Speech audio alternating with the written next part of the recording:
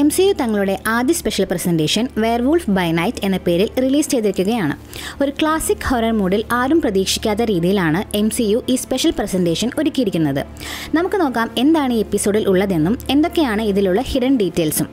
M C U മലയാളത്തിന്റെ പുതിയ വീഡിയോയിലേക്ക് എല്ലാവർക്കും സ്വാഗതം.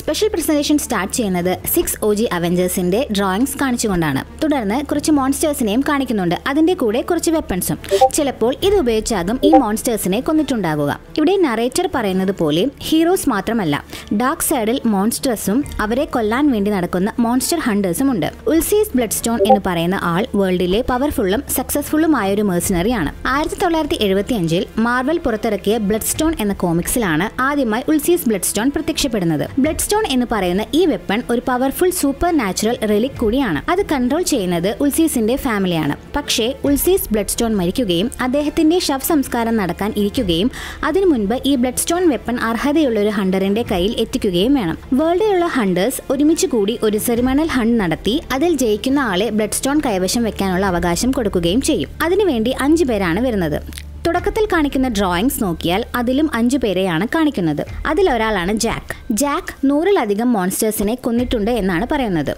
അപ്രതീക്ഷിതമായി ഉൾസീസ് ബ്ലഡ് സ്റ്റോണിന്റെ മകളായ എൽസ ആ ചടങ്ങിലേക്ക് കയറി വരുന്നു. ശരിക്കും ഈ ബ്ലഡ് സ്റ്റോൺ എൽസയ്ക്കാണ് കൈമാറേണ്ടത്.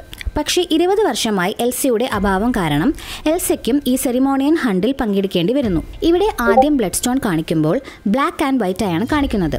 പക്ഷേ എൽസ വന്നതിന് ശേഷം ബ്ലഡ് സ്റ്റോൺ കാണിക്കുമ്പോൾ ഒരു റെഡ് ഗ്ലോണസ് കാണാൻ സാധിക്കും. ചിലപ്പോൾ ബ്ലഡ് സ്റ്റോണിന്റെ യഥാർത്ഥ ഉടമസ്ഥൻ വന്നതിന്റെ ഒരു ലക്ഷണമായിരിക്കാം. ഇവിടെ ബാക്കിയുള്ളവരെ ശ്രദ്ധിച്ചാൽ എല്ലാവരും ഒരേപോലെയുള്ള ഒരു മെഡാലിയൻ ധരിക്കുന്നത് കാണാം. ഒരു പക്ഷേ അവർ ബ്ലഡ് സ്റ്റോൺ സൊസൈറ്റിയുടെ ഭാഗമായതുകൊണ്ടാകാം. പക്ഷേ എൽസ ഈ മെഡാലിയൻ ധരിച്ചിട്ടില്ല. ഇനി സെറിമോണിയൽ ഹണ്ട് എന്താണെന്ന് ഉൾസീസ് ബ്ലഡ് സ്റ്റോണിന്റെ ഭാര്യയായ വെറൂസ ബ്ലഡ് സ്റ്റോൺ വിവരിക്കുന്നുണ്ട്. ഒരു മെയ്സ് പോലെയുള്ള സ്ട്രക്ചറിന്റെ ഉള്ളിൽ ഒരു മോൺസ്റ്ററിനെ ഇടുകയും ബ്ലഡ് സ്റ്റോൺ ആ മോൺസ്റ്ററിന്റെ മേൽ ഫിക്സ് ചെയ്യുകയും ചെയ്യുന്നു. തുടർന്ന് ഈ മോൺസ്റ്ററിനെ കൊന്ന് ഈ ബ്ലഡ് സ്റ്റോൺ കൈക്കലാക്കണം. ബ്ലഡ് സ്റ്റോൺ ഫിക്സ് ചെയ്യുന്ന സമയത്ത് മോൺസ്റ്റർ വീക്ക് ആകുകയും ഭയങ്കര ദേഷ്യാവസ്ഥയിലുമായിരിക്കും. ഇങ്ങനെ കൈക്കലാക്കുന്ന ആളായിരിക്കും ഈ ബ്ലഡ് സ്റ്റോണിന്റെ അവകാശി. അങ്ങനെ ഓരോരുത്തർ നിറക്കെടുത്ത് ആദ്യം പോകേണ്ട ആളെ കണ്ടെത്തുന്നു. ജാക്കാണ് ആദ്യം മേസിൽ കയറുന്നത്.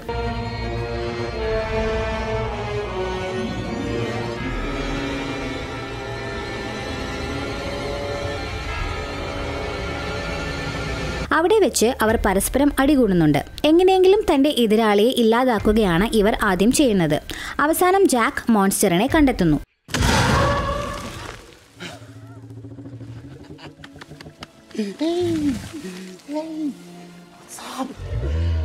Well, of course I was gonna come find you. ഈ മോൺസ്റ്റർ ആണ് മാൻ തിങ്.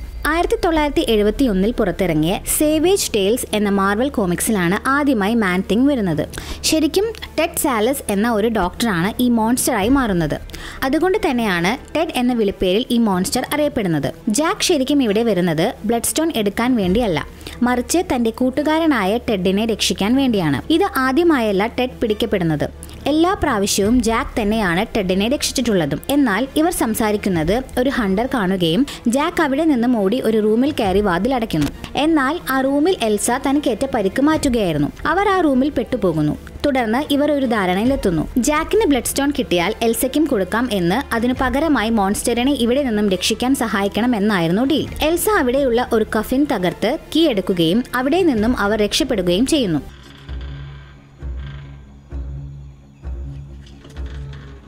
ടെഡിനെ നേരിൽ കാണുമ്പോൾ ഒരു പഴയ ഫ്രണ്ടിനെ പോലെ പെരുമാറണം എന്നും ടെഡ് എന്ന് വിളിക്കണമെന്നും ജാക്ക് എൽസയോട് പറയുന്നു When you run into him, just.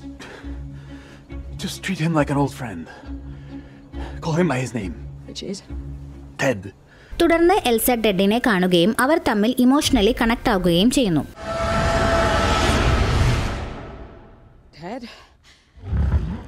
ഇതേ സമയം ജാക്ക് ആ മെയ്സിന്റെ ഔട്ടർ വാൾ തകർക്കുകയും ടെഡ് ആ വഴി രക്ഷപ്പെടുന്ന സമയത്ത് എൽസ ബ്ലഡ് സ്റ്റോൺ ടെഡിന്റെ ദേഹത്ത് നിന്നും മാറ്റുകയും ചെയ്യുന്നു.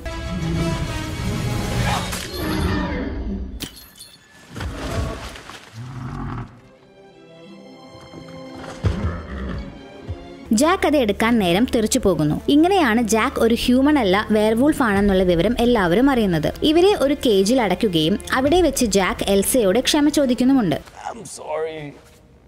I I couldn't tell you, you know. തുടർന്ന് വെറൂസ സ്റ്റോൺ ഉപയോഗിച്ച് തന്നെ വെയർവൂൾഫ് ആക്കാൻ പോകുന്ന വിവരം ജാക്ക് അറിയുന്നു Five days. Blood stones capable of transforming you in five seconds. Jack അവിടെയുള്ള മോൺസ്റ്റർ തലകൾ നോക്കുന്നുണ്ട്. നമ്മൾ വിചാരിക്കും ജാക്കിനെ ഇതുപോലെ ആക്കുമെന്ന് കരുതി പേടിച്ചു നോക്കുന്നതാകുമെന്ന്. പക്ഷേ ജാക്ക് ശരിക്കും തനിക്ക് ഒളിച്ചിരിക്കാൻ വേണ്ടി ഇരുട്ടുള്ള സ്ഥലങ്ങൾ നോക്കുന്നതാണ്. കാരണം അവസാനം കാണിക്കുന്ന ഈ മോൺസ്റ്ററിന്റെ അടുത്തു നിന്നാണ് ജാക്ക് പിന്നീട് ഒളിച്ചിരുന്ന് അറ്റാക്ക് ചെയ്യുന്നത്. ജാക്ക് എൽസിയുടെ ബോഡി സ്മെൽ മനസ്സിലാക്കുകയും ഐ കോണ്ടാക്ട് ഒരു കാരണവശാലും മാറ്റരുതെന്നും പറയുന്നു. വെറൂസ വന്ന് ജാക്കിനെ വെയർവുൾഫാക്കി മാറ്റുന്നു. ഈ സീൻ ശ്രദ്ധിച്ചാൽ എൽസയുടെ ഭയവും തന്റെ ഐ കോണ്ടാക്ട് മാറ്റാതെ നോക്കുന്നതും ബാക്ക്ഗ്രൗണ്ടിൽ വെയർവുൾഫിന്റെ ഷാഡോ കാണിച്ചുകൊണ്ട് ആ ട്രാൻസ്ഫോർമേഷനെയും കാണിക്കുന്നുണ്ട്. വെയർവുൾ ട്രാൻസ്ഫോർമേഷൻ ശേഷം ആ കേജ് തകർത്ത് ജാക്ക് പുറത്തു ചാടുന്നു. ജാക്ക് അവസാനം നോക്കിവെച്ച ആ മോൺസ്റ്റർ ഹെഡിന്റെ അവിടെ ഒളിച്ചിരിക്കുകയും അവിടെ നിന്ന് ചാടി എല്ലാവരെയും അറ്റാക്ക് ചെയ്യുന്നു.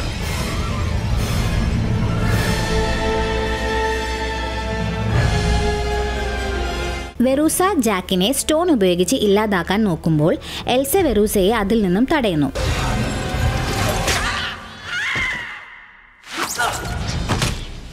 വെയർവുൾഫായ ജാക്ക് പക്ഷേ എൽസയെ അറ്റാക്ക് ചെയ്യുകയും തന്റെ ഐ കോണ്ടാക്ട് കാരണം കൊണ്ട് ജാക്കിന് എൽസയെ മനസ്സിലാകുകയും അവിടെ നിന്ന് ഓടിപ്പോകുകയും ചെയ്യുന്നു.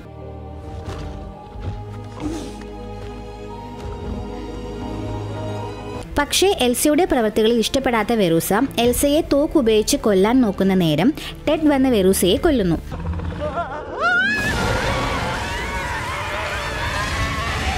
തുടർന്ന് ജാക്ക് ഓടിപ്പോയ അതേ വഴി തന്നെ ടെഡും പോകുന്നു. എല്ലാം അവസാനിച്ചു. എൽസ ബ്ലഡ് സ്റ്റോൺ ആയി കസേരയിൽ ഇരിക്കുമ്പോൾ ബ്ലാക്ക് ആൻഡ് വൈറ്റിൽ നിന്നും കളറിലേക്ക് മാറുന്നത് കാണാം. ഇതിനു കാരണം താൻ ഇതുവരെ ജീവിച്ചിരുന്നത് ഒരു ഡാർക്ക് ഷെഡിലായിരുന്നു എന്നും ഇപ്പോൾ തനിക്ക് തന്റെ ബ്ലഡ് സ്റ്റോൺ കിട്ടുകയും തന്റെ ജീവിതം വീണ്ടും തിരിച്ചു കിട്ടിയതിനെ സൂചിപ്പിക്കുകയുമാണ് ചെയ്യുന്നത്. അവസാന സീനിൽ ജാക്ക് തന്റെ നോർമൽ രൂപത്തിലേക്ക് മാറുകയും ടെഡ് ഒരു കോഫി കൊടുക്കുന്നതും കാണാം. ഇവിടെ നോക്കിയാൽ ടെഡിന്റെ ഐ കളർ റെഡ് ആണെന്നും തന്റെ ഷോൾഡറിൽ ഒരു യെല്ലോ ഫ്ലവർ ഉള്ളതും കാണാം.